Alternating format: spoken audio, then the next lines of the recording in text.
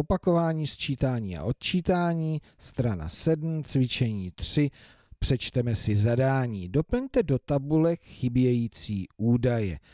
Ty tabulky si nejdříve prohlédnu. A tady vidím, že je zapsáno sčítanec, sčítanec, součet. Tady vidím menšenec, menšitel, rozdíl. Takže nejdříve si musím uvědomit, o jaké početní operace se v tabulkách bude jednat. Sčítanec, sčítanec, součet, to je jasné. To slyšíte. Sčítanec, sčítanec. Čili tady budeme sčítat.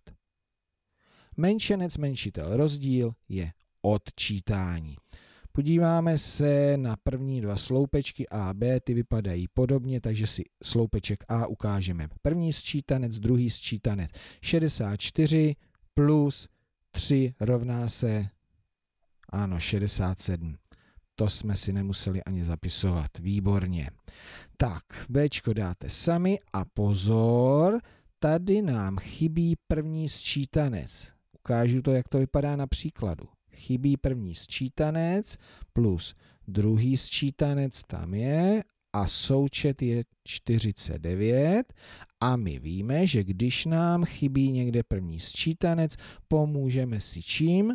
Odčítáním, čili 49 minus 2 rovná se, ano, 47, takže se na to podíváme, 47 plus 2 rovná se 49. D vypočítáte podobně a tady EF, tady nám chybí druhý sčítanec. Zase si ukážeme, jak to vypadá v příkladu. První při, uh, sčítanec tam je, je to sčítání, druhý chybí a součet 93. Takže jednoduše si mohu říct 91 a kolik chybí do 93? chybí dvě, anebo to můžete vypočítat pomocí odčítání 93 minus 91 rovná se 2. Tak, ukázka prvního sloupečku a teďka druhý sloupeček, menšenec, menšitel, rozdíl, čili tady nám chybí výsledek, takže obyčejný příklad 67 minus 4 rovná se uh-huh, 63 Druhý sloupeček je stejný sloupeček H, ale sloupeček I si ukážeme, takže když chybí menšenec, je to odčítání minus menšitel a rovná se rozdíl.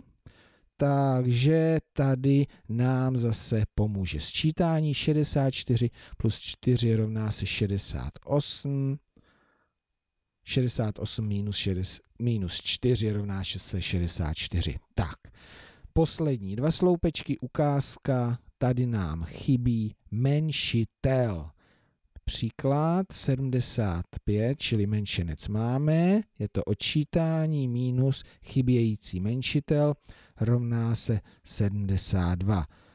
Obyčejné dopočítávání 75 bez kolika rovná se 72, to už vidíme, bez tří, ale kdyby si to chtěl někdo vypočítat, může to udělat. Pozor, to je ta výjimka, kdy si odčítání musí pomoci samo. 75 minus 72 rovná se 3. Tak, ukázky jsou 67, 47, 2, 63, 68, 3. Výborně. Takže jsme si to zkontrolovali a vy to všechno pěkně zdárně dopočítejte.